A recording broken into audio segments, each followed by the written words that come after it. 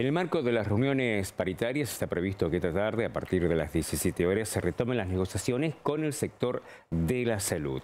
En tanto, estaba previsto que hoy, a las 11 de la mañana, sería la reunión con los gremios docentes, reunión que se vio demorada, se está desarrollando por estos momentos sin conocer los resultados. Seguramente lo tendremos en horas de la tarde y después en nuestra segunda edición de Telefe Noticias. Donde no hubo acuerdo fue con los gremios de ATE y de UPCN, que ambos gremios rechazaron la propuesta salarial por considerarla insuficiente. Declararon un paro de 24 horas para mañana miércoles sin asistencia a los lugares de trabajo, solamente manteniendo las guardias mínimas y del área de COVID. Para el representante de UPCN se reconoce el esfuerzo que realizaron los empleados durante este 2020 y espera que el gobierno pueda revisar la propuesta y dar una nueva antes de que termine el año.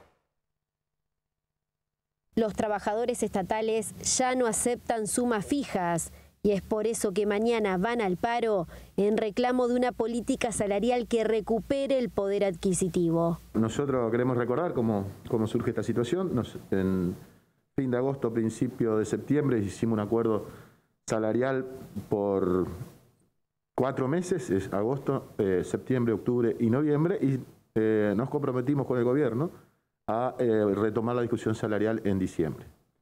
Al efecto, a mediados de noviembre empezamos con las discusiones con el gobierno para justamente tener solucionado el tema lo más antes posible, y bueno, nos encontramos que estamos en la penúltima semana del, del año, en una reunión paritaria el día viernes, que pasó para el día, un cuarto intermedio para el día lunes, el día lunes el gobierno nos hace efectivamente una propuesta, pero que contiene un porcentaje mínimo de aumento salarial y, se complementaba con sumas fijas. Nosotros desde, el momento cero le, habíamos planteado al gobierno que ya no había más eh, posibilidades de, recurrir al instrumento de las sumas fijas eh, no remunerativas ni no bonificables. El paro se realizará a nivel provincial, sin asistencia a los lugares de trabajo, manteniendo guardias mínimas, pero sin movilización dada la situación por la pandemia.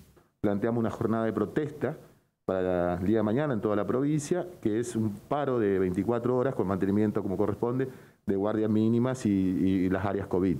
Eso está absolutamente resguardado. Esperemos que el gobierno entienda que debe replantear esa, esa, posición, que los aumentos deben ser porcentuales, como siempre debieron ser.